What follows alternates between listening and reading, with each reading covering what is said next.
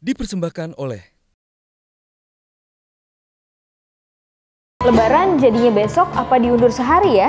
Nah, nggak usah cemas, kita tunggu aja hasil sidang isbat yang bakal digelar pemerintah bersama Kementerian Agama. Di Indonesia, sidang isbat sudah menjadi tanggung jawab Kementerian Agama sejak didirikan pada 3 Januari 1946.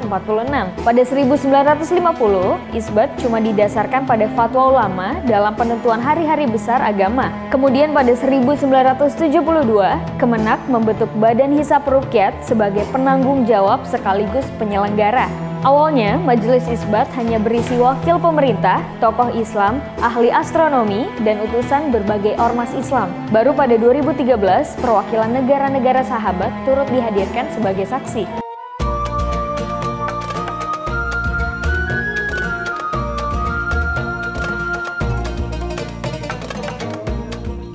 Dipersembahkan oleh